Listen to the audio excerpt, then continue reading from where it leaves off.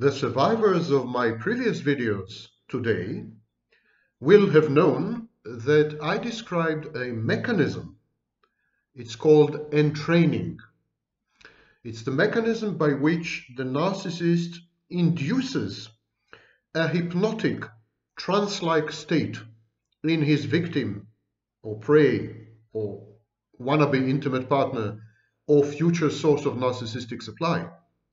This is done in, in the uh, love bombing and grooming phases. It starts then, but it continues throughout the relationship. Entraining, technically, is when an external stimulus, like music or words, speech, create a brainwave frequency that is identical to the brainwave frequency of the stimulus creator. So there's someone who creates a stimulus, his brain has certain waves with certain frequencies. And via the stimulus, he induces an identical brainwave in the recipient.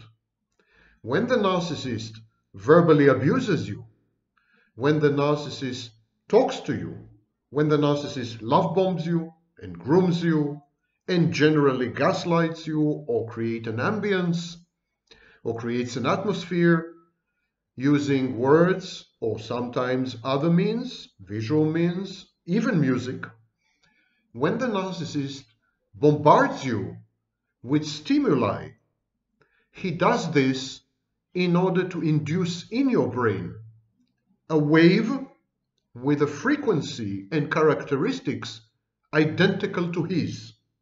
He wants you to mirror his brain. He wants your brain to become an extension of his brain. The landscape of brainwave frequencies in his mind, he wants to replicate in yours. In a way, you become a zombified mirror of the narcissist. It's technically a dissociative state. It's a hypnotic trance-like state. Regrettably, that hadn't been studied so much. I couldn't find a single video online discussing entraining, this process of inducing identical brainwaves. Um, but I think this is the major technique of the narcissist. Now, someone made a comment, a very pertinent comment for a change.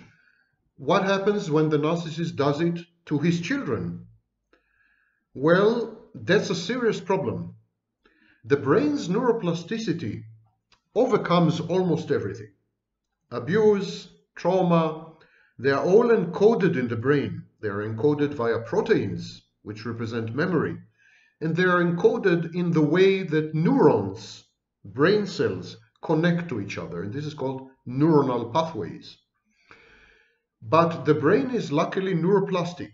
We can rewire and reprogram the brain to create new pathways and to get rid of many of these memories, either by repressing them or by denying access to them in some other way. So this all can be reverted to original form. Entraining is not forever. It's, a, it's not a permanent state. It's a transitional phase. But when it's done to children, I'm not quite sure whether this is totally true.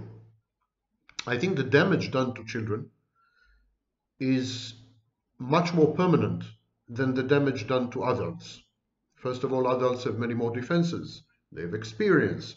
They have highly developed cognitive skills. Most adults are emotionally regulated, not dysregulated. But children, people with borderline personality disorder, codependence, they will be very, very susceptible. Like the virus, you know, susceptible to the virus. They'll be very susceptible, very amenable to modification via entraining. I think the narcissist sometimes homes in on these vulnerabilities. People who are, for example, victims of complex post-traumatic stress disorder, complex trauma, victims of complex trauma are rendered temporarily borderline. They, they display narcissistic and psychopathic behaviors and traits, and they are indistinguishable from borderline. It is in this window of, of opportunity as far as the narcissist is concerned. When the person is most vulnerable, most broken, most damaged, most sad, most destitute and devastated, it is then that the narcissist homes in, zeroes in on your vulnerability and can entrain you most efficaciously. So vulnerable people, from children to victims of complex trauma, from borderline to codependent, they're all natural victims of this technique of entraining. But uh, and I, I, before I proceed, I want again to recommend the book The Brain's Way of Healing: Remarkable Discoveries and Recoveries from the Frontiers of Neuroplasticity by Norman Doidge, D-O-I-D-G-E. Now, still, codependents and borderlines are particularly susceptible to narcissists. That's a well-established fact. My good friend Joan Lachkar, decades ago, in the 80s, had written the seminal groundbreaking book Borderline Narcissistic Couples, now in its second edition. So even then, back then, people were noticing, clinicians noticed and psychoanalysts noticed the extremely strong bond between narcissists and codependents, narcissists and borderlines. Today it's known as trauma bonding, sometimes, somehow, uh, somewhat erroneously, by the way. But they notice the bonding. And I think the reason that narcissists bond especially strongly with, or codependents actually bond especially strongly with narcissists, is because they have common etiological roots. The psychogenesis or pathogenesis of narcissism and codependency is one and the same. It's the same developmental route. And so it's like both of them have been subjected to the same pathogen, to the same virus, or to the same bacterium, the bacterium of childhood trauma and childhood abuse. There are two possible pathological reactions to childhood abuse and trauma, codependency and narcissism. And they both involve fantasy as a defense mechanism. The codependent has a pretty realistic assessment of herself, but her view of others is fantastic. Yes, she assesses herself pretty, I mean, she knows herself pretty well. But when she looks at her intimate partner, she idealizes him. That's the process of co-idealization that I mentioned in the previous video. The narcissist is exactly the, the mirror image. The narcissist's self-image and self-perception are delusional, grandiose, unrealistic. This is exactly where his reality testing fails. The codependent has a realistic assessment of herself. The narcissist has an unrealistic assessment of himself.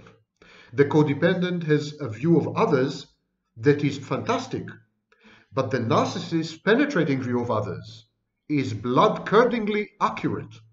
The narcissist has cold empathy. He sees others exactly as they are.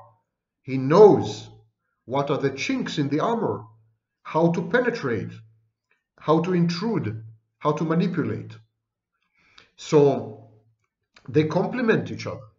She idealizes the narcissist and he sees he sees in her the penetration points that allow him to make her idealize him, to force and to coerce her to idealize him. They kind of, they constitute a symbiotic, a symbiosis. They are a symbiotic relationship, in a way a little parasitical relationship. He knows to push her buttons so that she ideali ends up idealizing him. Pathological narcissism is a form of addiction to narcissistic supply. The narcissist is caught in a kind of conundrum of his own making. On the one hand, he considers himself superior, godlike, above, above the madding crowd, etc. But on the other hand, to maintain his inflated, grandiose, and fantastic sense of self-worth, the narcissist is objectively, humiliatingly dependent on constant input from people which he considers vastly inferior to him. Imagine if you were, if your life depended on people you detest. And that's the narcissist's predicament. His very coherence, his very identity, his cohesion, his core, his kernel, the fact that he can get up in the morning depends crucially, derives derives crucially from input, on input from people that he holds in contempt. He is contemptuous towards the very foundations and founts and sources of his own existence. He clings to people. He is needy, but he hates them. He resents them. And then he hates himself for his dependence. And this leads to bouts of approach followed by bouts of avoidance. A repetition compulsion. We discussed it many, many times. So here's the narcissist and here's the codependent. Both of them were abused in childhood. One developed a solution, the other one developed a mirror solution. Yet, they both are branches of the same tree. It is be exactly because they are branches of this tree that the narcissist resonates powerfully with the codependent and her needs. That's why he has access to her like no one else. That's why he can entrain her and brainwash her and condition her like no one else. Like dependents, people with dependent personality disorder, codependents depend on other people for their emotional gratification and for the performance of both inconsequential and crucial daily and psychological ego functions. Uh, codependents seek to fuse or merge with significant others. By becoming one with their intimate partners, codependents are able to actually love themselves via through loving others. The only way they can love themselves is they see themselves reflected in someone else's eyes. They need someone else's gaze. They need to be seen. And in this sense, they're exactly like the narcissist. The narcissist cannot regulate his internal environment. He cannot regulate his emotions properly, cannot regulate his moods properly, and above all, he cannot regulate his sense of identity, his sense of self-worth properly without input from others. Same with the codependent. Exactly the same. Same with the borderline. Indeed, there are scholars like Rothstein who suggest that borderlines are failed narcissists. That the child becomes a borderline personality disordered person because the child had failed to become a full-fledged narcissist. So borderline is a form of failed narcissism, according to some scholars. The, all these people, all three, narcissists, codependents, borderlines, they are sides of the same coin. They are not the same. The dynamics, the psychodynamics of codependent and psychodynamics of borderline is is fundamentally different to the psychodynamics of a narcissist because they possess empathy and they have access to their emotions. The narcissist doesn't. But in terms of their dependence on other people for the regulation of their inner environment, they're pretty much the same. Codependents are needy, they're demanding, they're submissive. They suffer from abandonment anxiety, and to avoid being overwhelmed by it, they cling to others and they act immaturely. These behaviors are intended to elicit protective responses, to safeguard the relationship with their companion or mate upon whom they depend. Codependents appear to be impervious to abuse. No matter how badly codependents are mistreated, they remain committed. In extreme codependence, the fusion and merger with the significant other leads to in-house stalking by the codependent as she strives to preserve the integrity and cohesion of her personality and the representations of her loved ones within it. So, when there is extreme codependence, the boundaries between the codependent and her significant other, for example, her narcissist, these boundaries dissolve the merger is complete. And very often, the codependent in such a situation where she had become one organism with the narcissist, she would abuse herself. She would stalk herself, and I call it in-house abuse or in-house stalking. She would kind of tell the narcissist, you don't need to do this to me, I'll do it to myself. It's the narcissist outsources his abuse and stalking to this compliant and submissive codependent. It kind of, she takes the burden off him. She abuses herself before he abuses her. This is where the co in codependence comes to play. By accepting the role of victims, codependents seek to control their abusers, to manipulate them. It is a dance macabre in which both members of the dyad collaborate, but they, the only reason they can collaborate at all is because they have a common language, a common dictionary, the language and dictionary of childhood abuse and trauma. They come from the same home. They have been subjected to the same parental mistreatment. They had dead mothers or dead fathers. Emotionally unavailable, narcissistic, selfish, depressive, sick parents. And they had to parentify themselves. And they had to parentify their parents. Both of them are lost children in the woods. And so when they find each other, they extend hands and they hold on to each other for dear life. The codependent sometimes claims to pity her abuser. She casts herself in the grandiose roles of her abuser's savior and redeemer. The codependent's overwhelming empathy imprisons the codependent in these dysfunctional relationships. And she feels guilt, either because she believes that she had driven the abuser to maltreat her, or because she contemplates abandoning him. It's a lose-lose situation.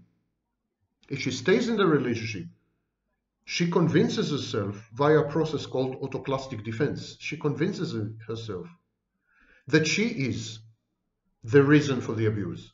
She had provoked him. She had hurt him. She insulted him. She misbehaved. The borderline does this very often. These guilt trip, self-induced guilt trips, this shame, all-engulfing, all-encompassing, all-consuming shame is very typical of borderlines, especially after a borderline does misbehave. The codependent is the same. And this is one option. The second option is to ab abandon the narcissist, to fight for their life, to escape, to go no contact. And it, but this also induces in her guilt and shame. Codependency is a complex, multifaceted and multidimensional defense against the codependent's fears and needs. There are five categories of codependence stemming from their respective etiologies. There's codependency that aims to fend off anxieties related to abandonment. These codependents are very similar to borderlines. They are clingy, smothering, and prone to panic.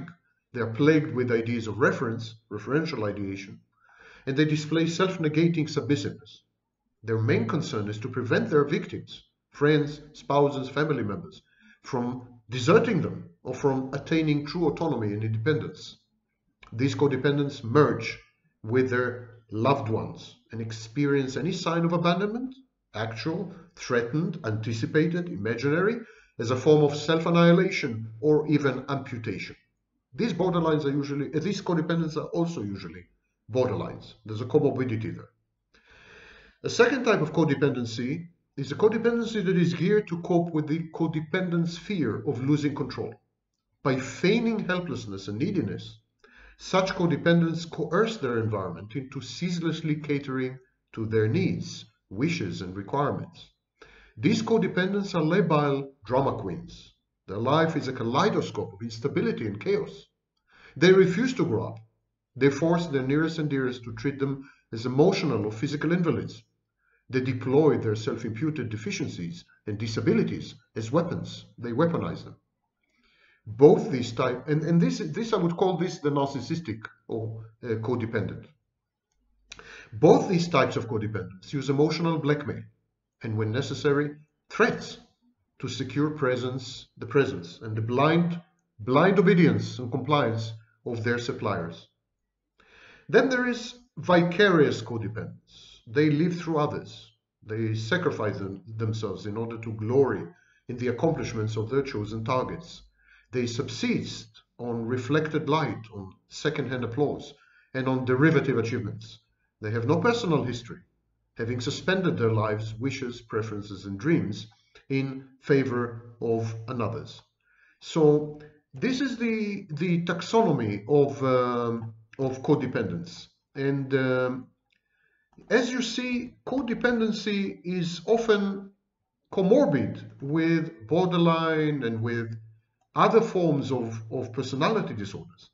You can't really um, make a total distinction. There's a kind of, the, the line is blurred and fuzzy. Now I know that many codependents deny that they have any narcissistic traits, that they have any borderline traits, but it's very it's a very indefensible position. Take for example the codependent or borderline narcissist. It's a, it's a, like you have a psychopathic narcissist, you have a borderline narcissist, and even a codependent narcissist. These kind of narcissists oscillate between periods of clinging and other codependent behavior patterns, which they misinterpret as intimacy, and periods, eras of aloofness, detachment, and emotional neglect and abandonment, which they regard as legitimate and the only possible manifestations of personal autonomy and space. So there is this approach avoidance repetition compulsion. Co um, codependent or borderline narcissists tend to form with their intimate partner a shared fantasy, a shared psychosis, folie à deux. These are all the outcomes of their overwhelming and all-pervasive abandonment anxiety. They either smother their partner in an attempt to forestall abandonment, or they preemptively abandon ship, thus avoiding hurt and maintaining, maintaining an illusion of control over the situation. I'm the one who walked out. I dumped her, not the other way around. The codependent deploys strategies, this kind of codependent deploys strategies such as merger, becoming one with her intimate partner while renouncing all personal autonomy and independence of both of them, up to a point of shared psychosis. There is something called coextensivity, the ventriloquist defense, insisting that the partner mind reads her and acts in ways that reflect her inner psychological states and moods. This kind of codependent will say, You're so insensitive, can't you see that I am sad? Or couldn't you have guessed what I wanted? She's looking for telepathy. Her partner should be a, a dummy, and she is the ventriloquist. And um, there's shifting boundaries, using behavioral unpredictability and ambient uncertainty to induce paralyzing dependence in the partner. And finally, there's a form, another form of, de of dependence that is so subtle that it eluded detection until very, very recently, and it's known as counterdependency. Counterdependents reject and despise, despise authority. They are contumacious. They often clash with authority figures like parents, bosses, the law, the state, their sense of self-worth, eh, we see many of these, by the way, in the pandemic. Their sense of self-worth and their very self-identity are premised on and derived from, in other words, dependent on, these acts of braggadocio, bravura, and defiance. They are personal autonomy militants. Counterdependents are fiercely, uncompromisingly independent, very often foolishly so. They are controlling, they are self-centered, and they are aggressive. Many of them are antisocial, and they use projective identification. They force people to behave in ways that buttress and affirm the counterdependent's view of the world and his expectations. These behavior patterns are often the result of a deep-seated fear of intimacy. In an intimate relationship, the counterdependent feels enslaved, ensnared, and captive. Counterdependents are locked into approach avoidance repetition compulsion cycles. The hesitant approach is approached by, is followed by avoidance of commitment. They are lone wolves and bad team players, but they are also codependents. So you see, codependency is a very complex phenomenon. But even in the little that I've, you know, in the survey of the terrain, you already saw many, many things in common between narcissists, codependents, borderlines. They're all members of the same family. They're first cousins, if not brothers. And that's why when they come across each other, there is this feeling of a twin flame, a soulmate, a previous incarnation. There, there's this enormous echoing resonance that they can't feel, they can't have with any other type of person. And the reason is that the narcissist is a victim of early childhood trauma and abuse. Narcissism is a post traumatic condition. So is borderline. So is the codependent. These are all traumatized people who had chosen different solutions or failed to adopt certain solutions. And yet, they immediately recognize each other and they immediately share the most important thing in life a common ancestry, a common origin. Their roots are one and the same. I want to make a few, I want now to answer a few of your, of the issues you've raised or questions you've sent me and so on and so forth, as is usually my habit. Um, I'm ag aggregating several questions at once. Toxic masculinities, the examples of which are men going their own way, incels, red pillars, all kinds of pillars, toxic masculinities exist. There's no point in denying them and no point in cloaking them in some form of activism, men's rights and other such nonsense. These are misogynistic, hate-filled, aggressive, defiant, antisocial, virulent movements, which regrettably are recruiting more and more online and offline. And there's no point in denying this phenomenon.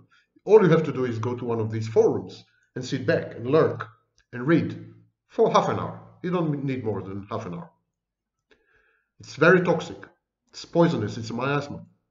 These are very, very sick people there. Very sick.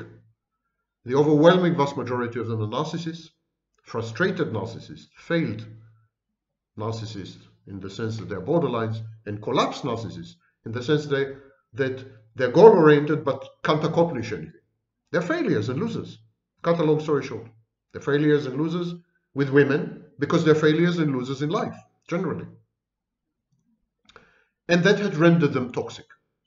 The poison, the poison of anger, of frustration, of aggression, of repeated slights and humiliations, this poisons, poison bubbles, seethes, festers, and ferments inside them until it renders them unrecognizable. This is toxic masculinity. But make no mistake about it. There is the female equivalent of all this. It's toxic femininity. There are movements in feminism and outside feminism which are utterly toxic. They are misandrist. Misandry is men-hating, exactly like misogyny is woman-hating. There are many men-haters. They are equally frustrated. Most of them are borderline. Very, very pathologized and sick women. Uh, and they too they too transform their negative emotionality into an ideology. The irony is the latter wants to become and emulate the former. Toxic feminists, toxic women, when they grow up in their wet dreams, they want to become toxic men. Toxic women emulate, imitate toxic men, psychopathic men, they want, they think that to be a man, to be virile, to be masculine, to control the world, because men control the world. There's patriarchy, chauvinism, this, that. They think the only way in this men's world is to become a man, and not only a man, but an extreme caricatured version of a man, psychopathic man. So yes, I agree. I agree even with members of the manosphere who had written to me claiming that I neglected the toxic femininity part. And they're right in this sense. There is toxic femininity. Um, a few other questions I've received. Married, many married women behave like virtual singles. I call them virtual singles. They are more single than an attached single. a single woman in a committed relationship she behaves less single than a married woman who had effectively exited her marriage and is behaving like a single. They, for example, virtual singles are very promiscuous. Married virtual singles are women who had given up on the shared fantasy, had given up on the marriage for a variety of reasons, usually because their needs are unmet. And these needs don't, don't necessarily are not necessarily connected to abuse or to misbehavior by their partner. For example, maybe they are risk takers and novelty seekers. They need novelty. They need di di diversity. They need to taste every dish on the menu. So a marriage, by definition, is the wrong framework. They need to go outside the marriage. So whatever the needs may be, they're not met within the marriage. And so these married women find themselves trapped in an arrangement which doesn't fit, doesn't suit, and does not reflect their psychological makeup. And so they wander out, they exit the shared fantasy in the marriage, they become virtual singles. Virtual because they're still technically married. But they behave as singles to all intents, for all intents and purposes. Here's the problem. Both men and women nowadays, both genders, want to eat the cake and and keep it. They want to have the cake, but they want to eat it. The men want to have free, uncommitted, no strings attached sex. Fair enough. But at the same time, they expect women to be faithful to them and loyal. On the one hand, they're hunting. They become predatory. Most men today and women are predatory predation is the foundation of dating nowadays. You date each other as two predators. So most men hunt for loose, promiscuous, easy women. And then when they get these women, they're shocked that these women are not faithful, that they're not loyal, that they're not exclusive, sexually exclusive. They come across women who are entitled, secondary psychopaths out for diversion or borderline. These are the kind of women who would collaborate in. Or they come across women whose, whose ethos, whose perception of sex is very relaxed. And sex for them, having sex is nothing more than, you know, having lunch together. And so then they are shocked that these women perpetuate these attitudes and behaviors with other men. Women, on the other hand, offer themselves free, no strings attached, the hookup culture. And then they're shocked that men refuse to commit, refuse to invest, refuse to create families, refuse to get married. That's the situation today. Two-thirds of men refuse to have married, to get married. And women are shocked. Why do men refuse to get married? Well, men refuse to get married because you are giving them for free what in the past was intimately connected with, an, with a legal arrangement of some kind, including marriage. Today you give, you give the goods for free. Of course no one pays. Of course no one pays for that in any way or shape or form. That's one thing. And second thing, you're promiscuous. You're entitled. You're predatory. You're psychopathic. You're not faithful. You're unfaithful. Why would a man invest in a woman, in their future, in a family. Why would a man create community property with a woman? Why would a man commit to a woman and to their future together if he cannot be sure 100% of sexual exclusivity? And can a man be sure of sexual exclusivity nowadays? No way. The statistics are unequivocal. Women cheat as, mu as much as men nowadays. This is a tectonic shift. And both women and men, over, over the life of a relationship, about 60% of them cheat. You're actually guaranteed, I mean, and these are the people who admit to it. You're virtually guaranteed that if you team up with a woman, she will end up being unfaithful to you. Guaranteed. Why invest in her? Why commit to her? Why get married? the only reason in the past to get married, I mean, one of the main reasons in the past to get married was sexual availability, sexual accessibility. sexual regularity. And the second reason was wealth distribution, transferring wealth from one generation to another. But what if your children are not your own? You're transferring wealth to someone else's children, to another man's children. You can't be sure nowadays. There's no reason, no rational reason to get married. Absolutely not. And you want to have sex? All you have to do is walk 200 meters to the nearest bar. As much sex as you want. You know what? If you are seriously indolent and lazy, swipe left. Sex is around the corner. Sex is on your screen. And so women are promiscuous. There's no other word to describe it. All women nowadays are promiscuous. Women typically have like nine relationships, 10 relationships by the, by the age of 30. And these are the relationships, not counting one night stands and everything. They're promiscuous. And 73% of all divorces are initiated by women, at which point they abscond with half the community property and the children. That's by far the worst conceivable business proposition ever. Or to paraphrase the famous Donald Trump, the worst deal ever. There is no rational reason nowadays to get married because women terminate marriages, take all your property. You can't be sure the children are yours. Women are not faithful anymore. They're promiscuous.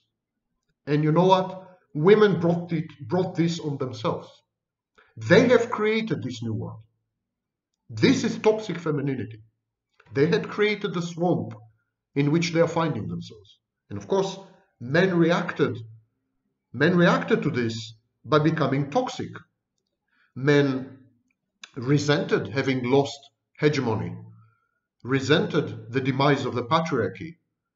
Men hated the fact that the slaves are emancipated, that their women are no longer chattel or property. People hate change, men and women.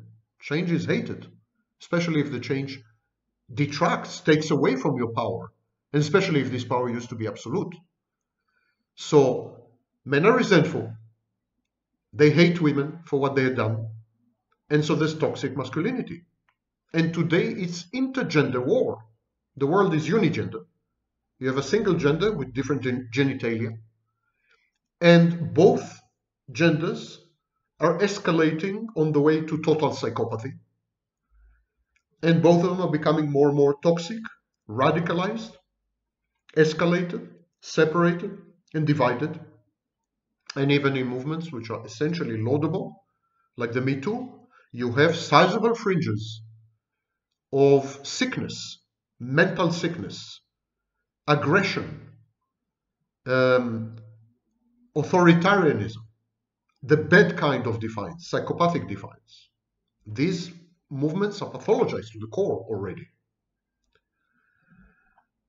This breakdown, it's called gender vertigo. This breakdown of communication between genders, this breakdown of gender as a defining role and an organizing principle and an explanatory principle. This would this is part of a much larger failure our species has failed. Our species has failed. Now it's absolutely clear. If you measure success by how many specimens of a species there are, we are major success. There's 8 billion of us. No other species, no other species had multiplied to this extent and occupied every ecosystem and every niche in the in on Earth. No one. We are underwater, we're in space, we're in deserts, we're in jungles, we're in, on beaches, we are riparian, on rivers. I mean, we're everywhere. And there's many of us. And we're multiplying. Forget the pandemic. Pandemic doesn't touch one week's production of new humans. We're multiplying. So if you measure it by quantity, we're a success. If you measure, measure it by longevity, we're a success. We live longer than our forefathers, than our ancestors. But these are not the right measures of success. How long do you live and how many of us are there? That's, is this success? No. Success is cooperation. Success is happiness. Success is the quality of life. Success is connectedness. And in all these, we have failed so miserably, like never ever before in human history. recorded or not recorded. We are at the crux and the nexus of absolute unmitigated failure as a collaborative social species. I encourage you to read works by Emil Durkheim, Christopher Lasch, Durkheim, by the way, not Dorkheim, but Durkheim, D-U, D-U, R-K-H-E-I-M, very clever Jew. Jew, really. Emil Durkheim wrote about anomic society, suicide, and so on. Very fascinating work. More than 100 years old. As, as fresh as yesterday's newspaper. Christopher Lasch, who in the 70s wrote about rising, rising tidal wave of narcissism in society. Eric Fromm, I'll deal with him in a minute, a sociologist, social psychologist. But before I come to Eric Fromm, I, I want to mention Sapolsky. Sapolsky is a biologist, brilliant biologist, who had studied social primates, social primates and social apes, and his expertise was baboons. He had studied baboons for at least two decades, and he has published many books and so on. And he he he reached after decades of career, observing all kinds of primates, including humans. He reached a conclusion that the important, the really only important thing is social connectedness. He discarded the view that the best predictor or prognosticator of survival is how high you, high you are in the dominance hierarchy. That's Jordan Peterson's view, the famous lobster analogy. Sapolsky says this is nonsense. How high you are, you are, whether you are alpha male, whether you are number one lobster, that doesn't determine your quality of life, your chances for survival, and your chances to procreate, by the way. He said that the, the main determinant was the networks, the social networking the social support networks that you had as an individual in your tribe, in your herd, in your flock. It's much more important than rank. And also, it's closely correlated to reduce stress and to, because stress determines many things um, in primates and apes, especially primates. Stress has deleterious effects on the body, on the mind, and social connectedness reduces stress. Sapolsky said that we have too much leisure, too much leisure time, and we don't know what to do with it. So we torture each other, simply. That's, that's our fun activity. All you have to do is go online. Trolling, attacks, flames. I mean, people, people uh, externalize aggression. Social media were built around this principle of externalizing aggression. So he said that we have too much leisure time and so on. But if you're socially connected, the stress created by too much leisure time is substantially modified and reduced. Happiness, he said, is not connected to material goods. It's connected to having social support, to having a meaningful life with a goal or a belief, a faith of some kind, to having structure, to having predictability, attribution, control over threats and challenges. And these are, of course, the elements we see in various coping strategies, functional but also dysfunctional. Religion, for example, and addictive behaviors, addictions. They both provide all these, but I and many others think that they are highly dysfunctional, as religion involves delusions and addictions involve serious damage to mind and body. But putting these two aside, if you are able to create supportive social networks of succor and love and empathy and engulfment and kindness, if you imbue your life with meaning going forward, if you structure, this is far more important than how rich you are, how famous you are, and what is your position among the other lobsters. I will read from Eric Fromm. He wrote one of the most important books of the 20th century, Escape from Freedom. He published, I think, the first edition in 1941, a year before Cleckley published his seminal book on psychopaths, The Mask of Sanity, These were the years of miracles. Eric Fromm says there is only one possible productive solution for the relationship of individualized men with the world. His active solidarity with all men, and his spontaneous activity, love, and work, which unite him again with the world, not by primary ties, but as a free and independent individual. However, if the economic, social, and political conditions do not offer a basis for the realization of individuality in the sense just mentioned, while at the same time people have lost those ties which gave them security. This lag makes freedom an unbearable burden. Freedom then becomes identical with doubt, with a kind of life which lacks meaning and direction. Powerful tendencies arise to escape from this kind of freedom into submission or some kind of relationship to men and the world which promises relief from uncertainty even if such a relationship deprives the individual of his freedom. He said, freedom by itself is a bad thing. It's a burden because it creates uncertainty. When you're free, you have no certainty, you have no security. You have to choose. That's Sartre's um, and Kierkegaard, um, Kierkegaard uh, observation that the need to choose in itself creates anxiety, angst. And so freedom to choose, free will, the possibility to exercise free will, these potentials are frightening. And so many, many times people say, I don't want freedom. Take away my freedom. I don't want responsibility for the consequences of my actions. I don't want to decide on my actions. I want to be submissive. I want to be a slave. Slave mentality. Slaves are free, perhaps, Slaves are the most free people because they are free of the burden of choice, the need to decide, and the responsibility that come with it. And this is Fromm's message. And he says the only way to ameliorate the terrifying aspects of freedom is if there is active solidarity with other men and there is kind of involvement in activity, love, and work, and this way to unite yourself with the world. You become one with the world, and so the world is not so threatening anymore. It's another message. I mean, it's another way of. Uh, it's the same message like Sapolsky. Where you are in the world, who is under you? Are you alpha male? How many people you control? How many lives you determine? that's a that's a stupid game. Simply a stupid game.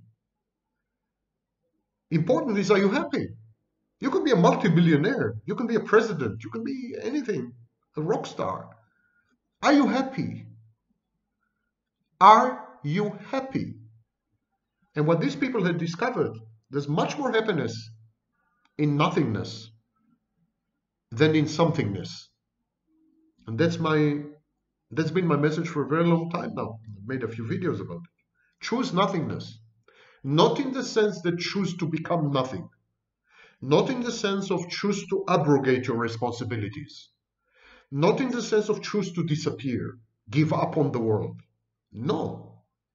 Choose nothingness in the sense that you emphasize being and existence, that you fo- your focus is internal, never external, that you don't derive any important internal functions from the outside, not your self esteem, not your self confidence, not your sense of self worth, nothing.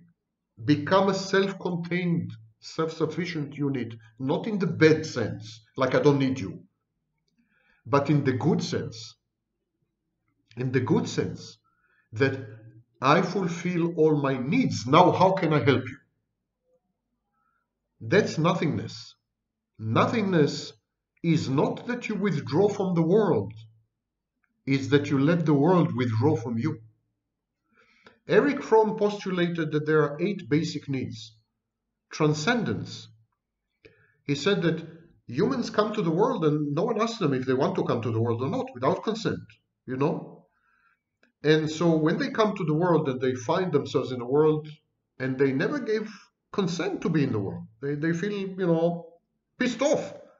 You didn't ask me if, if I want to be born, you just brought me to the world. And so he said that destruction destroying people or creating people. Creativity and destruction are two ways of somehow coping with this sudden appearance in the world, which is non consensual. Malignant aggression, killing, gratuitous killing, not for survival, or creating something and then caring for it. All these actions are somehow trying to cope with presence in the world and transcend it. He said the, the second need is rootedness. Rootedness is the need to establish roots, to feel at home somewhere, with someone, at some time. Productivity um, depends crucially on rootedness. Growth, personal growth, depends on rootedness. Rootedness is another word for self safe base, the security of a mother, good enough mother. Rootedness starts with the mother. If the mother is dead, emotionally unavailable, narcissistic, depressive, absent, you can't have rootedness. You don't have a safe base. You know you have nowhere to go back to. And so some people who has had a good childhood, a healthy childhood, they grow. They grow, they separate, they individuate, and they tackle the world on their own terms. Others become fixated. They're afraid to move beyond the security and safety of mother or mother substitute. That's apropos the shared fantasy.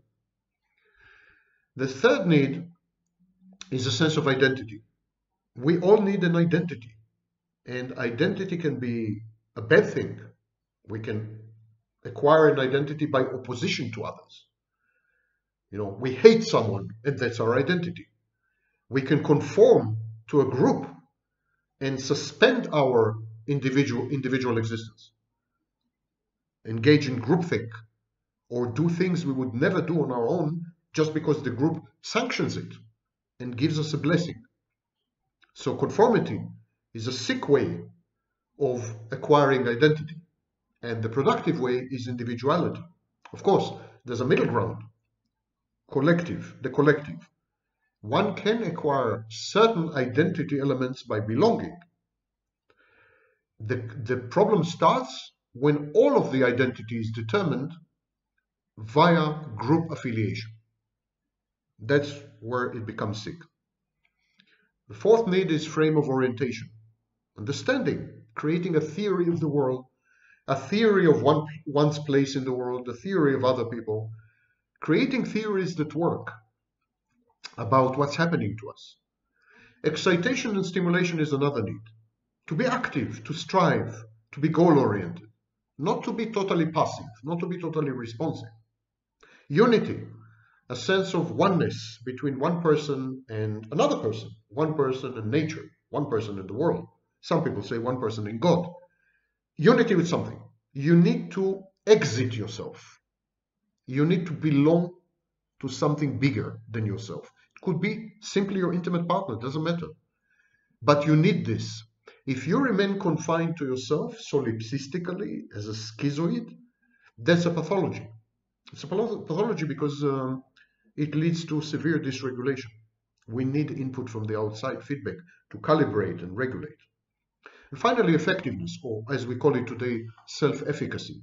It's the need to be, to, to be accomplished, or at least to feel accomplished, to derive from a reluctant environment outcomes which are beneficial to us, which are productive, which further our interests, which secure our survival.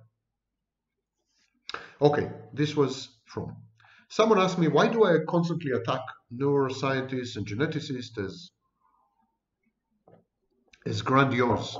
Well, there's a very surprising reason for it, because they're grandiose.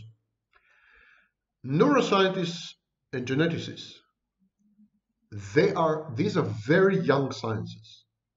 They are absolutely just starting. They're at the inception of their science, sciences. And I'm not even sure these are sciences yet. They barely have a hammer and they see a nail everywhere. Everything is a nail because they got themselves a hammer. And not only they got themselves a hammer, but they claim it's not a hammer. Hammer. They claim it's something much more sophisticated. These are very primitive branches of science at their beginning, and what they don't know dwarfs what they do know. I will give you one example. I gave many in, in my other videos. I'll give you yet another example. The Science News published the following. A mother's mouse's gut microbes help wire her pup's brain, according to new study. The new results point to the influence of specific microbes and the small molecules that they produce called metabolites. Metabolites from the microbiome of the mother in other words, metabolites produced in the intestines of the mother. In the intestines, there are bacteria. The bacteria secrete or create tiny molecules called metabolites. Okay? So, metabolites from the microbiome of the mother, from the gut flora of the mother, can influence the developing brain of the fetus, says Cathryn Nagler, an immunolo immunologist at the University of Chicago. The metabolites do this by reaching a developing pup's brain, where they affect the growth of axons, the thread-like signal transmitters of nerve cells. Let me get this straight. In the intestines of mother mouse, there are bacteria, known collectively as microbiomes. They produce molecules called metabolites, about which we didn't know until recently. And these metabolites modify the brain of the fetus. Yet again, we come across proof that a lot of what we had considered hitherto to be brain functions actually is happening in the intestines. Serotonin, serotonin is produced mostly in the intestines, not in the brain. So we don't know. And to claim that we know to find the gambling gene, aggression gene, narcissism gene, dopamine pathway. These are the ramblings of immature, infantile pseudoscientists who want to become instant celebrities in the mass media. Serious scientists would never do this because they know how much they don't know. I will end by demonstrating to you how everything we know today about codependence, about narcissists, about psychopaths, had been known long ago. We didn't use the same words, but the essence had been known very, very long time ago. I'm going to read to you um, excerpts from two um, literary works. The first one is American Notes for General Circulation. Charles Dickens had visited the United States and survived to tell about it in 1842. That was his first visit. He visited the States a few times. The first time was in 1842, and he came utterly shocked. He came back to the United Kingdom where slavery had been illegal for a while. He came back utterly shocked. Not utterly shocked by slavery, but utterly shocked by the justifications to, for slavery. And, and here I want to read to you a pretty lengthy excerpt.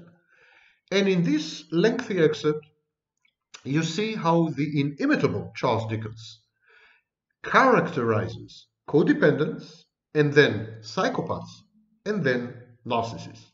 Brilliant. Okay. So he, he, he's discussing people's attitudes to slavery. He says, the first are those more moderate and rational owners of human cattle, who have come into the possession of them as so many coins in their trading capital, but who admit the frightful nature of the institution in the abstract, and perceive the dangers to society with which it is fraught, dangers which, however distant they may be, or however tardy in their coming on, are as certain to fall upon its guilty head as is the day of judgment. This is the codependence. The second, and now he is describing psychopaths.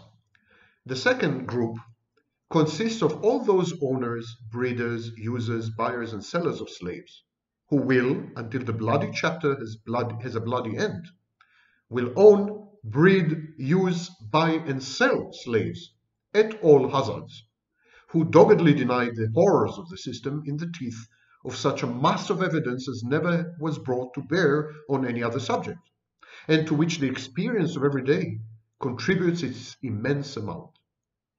These are people who would, at this or any other moment, gladly involve America in a war, civil or foreign, provided that it had for its sole uh, end and object the assertion of their right to perpetuate slavery and to whip and work and torture slaves, unquestioned by any human authority and unassailed by any human power. These are people who, when they speak of freedom, they mean the freedom to oppress their kind, to be savage, merciless, and cruel, and of whom every man on his ground in a Republican America is a more exacting and a sterner and a less responsible despot than the Caliph Harun al-Rashid in his angry robe of scarlet. It's a perfect description of psychopaths. And now he comes to the narcissists. The third group, and not the least numerous or influential, is composed of all that delicate gentility which cannot bear a superior, cannot brook an equal, of that class whose republicanism means I will not tolerate a man above me, and of those below none must approach too near whose pride in a land where voluntary servitude is shunned as a disgrace, must be ministered to by slaves, and whose inalienable rights can only have their growth in Negro wrongs. Is it the interest of any man to steal, to game, to waste his health and mental faculties by drunkenness? Is it the interest of any man to lie, to forswear himself, to indulge hatred, to seek desperate revenge, or do murder? No. All these are roads to ruin. And why then do men tread these roads? Because such inclinations are among the vicious qualities of mankind. Blot out, ye friends of slavery, from the catalogue of human passions, brutal lust, cruelty, and the abuse of irresponsible power, of all earthly temptations, the most difficult to be resisted. And when ye have done so, and not before, we will inquire whether it be the interest of a master to lash and maim the slaves, over whose lives and limbs he has an absolute control. Wonderful, beautiful description of the three types of uh, essentially um, personality disorders. And now, here's a description of a narcissist. Description of a narcissist from the book The Sixth Great Power, a history of one of the greatest of all banking families, the House of Barings, 1762-1929. There's a description of a narcissistic woman for a change. That other Baring peer, the second Lord Ashburton, was equally remote from the bank. Thomas Carlyle thought he found little pleasure in his new glory. He is immensely rich, but having no children. Carlyle says, describes this second Lord Ash Ashburton. He says, is immensely rich, but having no children, and for himself no silly vanity, I believe does not in the least rejoice in such a lot. Poor fellow, he looked miserably ill the day I called on him. One could not but ask oneself, thinking of his income of £60,000 a year, alas, what is the use of it? So this is how Carlyle describes a very rich man who is not a narcissist. He's not a narcissist. And he's unhappy because money can't make him happy. Vanity, he has no vanity. He has no grandiosity. Carlyle continues. We're talking a text from the um, 19th century.